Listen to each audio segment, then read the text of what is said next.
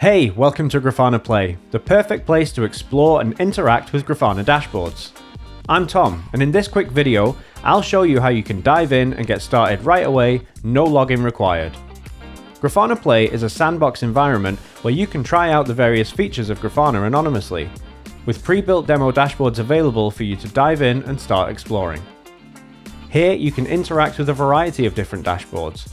Click on visualizations, inspect queries, modify them, and see how everything works. It's all at your fingertips. Whether you're new to Grafana or looking to expand your skills, Grafana Play is the place to be. Experiment, learn, and get inspired. Once you're comfortable, you can take your newfound knowledge and either install Grafana open source or create a free Grafana Cloud account to start building your own dashboards. So go ahead, explore Grafana Play.